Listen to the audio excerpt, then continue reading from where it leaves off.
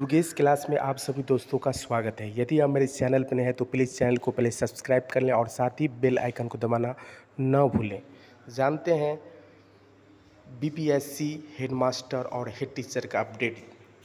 बिहार में 29 अक्टूबर तक जारी होगा हेड टीचर का रिज़ल्ट। ये बहुत ही बड़ी खबर है कि 29 अगस्त, अक्टूबर को प्रधान शिक्षक का रिज़ल्ट जारी होने की संभावना है। आगे लिखा है कि बीपीएससी में तेज़ी से रिज़ल्ट की चल रही है तैयारी। एचएम का रिज़ल्ट अब बाद में होगा जारी।